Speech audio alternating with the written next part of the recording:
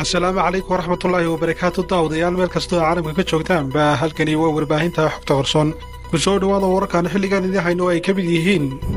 Xogihii ugu dambeeyey ee dacwadda xilka xayuuminta ee xildhibaan maxamed abiib ee golaha wakiilada somalilan ee maanta. Jabuuti oo labaatan milyan lagu xukumay lacagtaasi oo ay siinayso shirkadda imaaraadka laga leeyahay ee d b wel faahfaahin ka soo baxaysa muwaadiniin soomaaliyeed oo lagu dilay dalka koonfur afrika soomaaliya iyo asarbajaan oo ku hesheen inay ku horqaadaan xidhiirkooda isna kaashadaan qodobadan ayaan ku soo gudbin doonaa daawadayaal ee ku soo dhowaada iyagoo faahfaahsan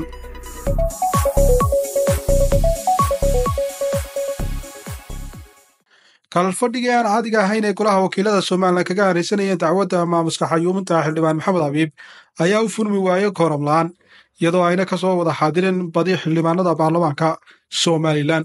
waxaana keliya soo xaadiray sagaal iyo afartan xildhibaan. Saasi darteedna ma uusan furmin kalfadhigaasi oo lagama doodin dacwadda xilka xayuuminta ee xildhibaan maxamed abiib bartamihii bishii julaay ayay ahayd markii xeerlaalinta guud ee somalilan ay dacwad xilka xayuuminaha ka gudbisay xildhibaan maxamed abiib oo ka tirsan mudanayaasha golaha wakiilada somalilan. Xeerlaalinta qaranka ayaa mudanayaasha golaha wakiilada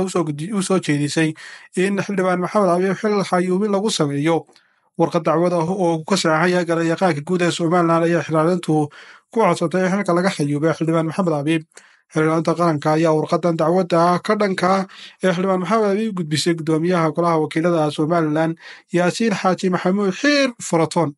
Xildhibaan maxamed abiib ayaa lagu eedeeyey inuu ku kacay waxyeelo qarandumisa isagoo jabuuti kula kulmay madax ka tirsan soomaaliya iyo kooxo ka soo horjeeda jiritaanka somalilan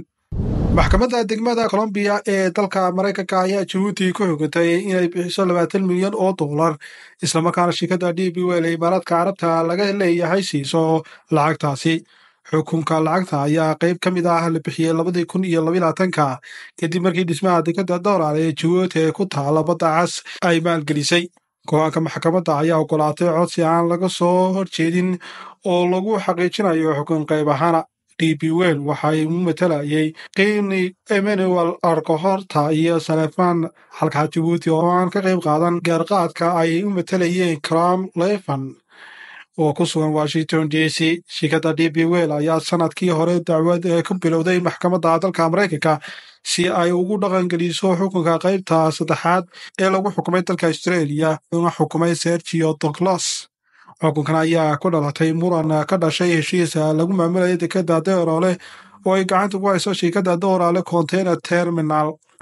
Oo ay iska kaashadeen maalgelinteeda shirkadda d b wel iyo hay'ad ka tirsan dowladda jabuuti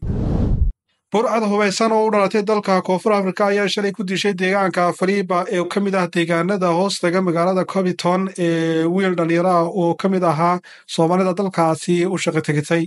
ninka dhallinyarada ah ayaa la sheegay in koox burcadi ay ku weerareen goobtiisa ganacsiga oo ku taalay filib waxaana la soo wariyey in burcadda rasaas badan ay ku dhufteen marxuumka oo lagu magacaabi jiray cumar cabdilaahi axmed oo loo yaqaanay cumar qamarji burcadda geysatay dilkan muwadinkan soomaaliyeed ayaa dilka kadib hore u qaatay lacago ah iyo agab kale oo tugaanka yiilay kuwaas oo goobta isaga baxsaday booliiska dalka koonfur afrika ayaa saacada kadib gaadhay goobta uu dilka ku dhacay kuwaas oo samaynayay baaritaano ku aadan dilka. Lamana sheegin ilaa hadda cidda cid loo soo qabtay ee falkaasi dilka ah oo loo geystay muwaadinka soomaaliyeed ugu dambeyn muwaadiniinta soomaaliyeed ee ku nool dalka koonfur afrika ayaa si joogta ula kulma dilal iyo dhace ay u geystaan kooxa burcada oo u dhalatay dalkaasi. Mana jirto waxay ka qabato dowladda koonfur afrika dilalka joogtada ah iyo dhaca loo geysto ganacsatada soomaaliyeed ee dalkaasi gudaheeda ku ganacsada soomaaliya iyo dalka asarbajaan ayaa ku heshiiyey in sare loo qaado xidhiirka laba geesoodka ah iyo in sare loo qaado iskaashiga labada dal ee dhinacyada kala duwan heshiiskan ayaa lagu gaadhay intii lagu jiray kulan magaalada buuka ku dhex maray wasiirka arrimaha dibadda ee iskaashiga caalamiga ee soomaaliya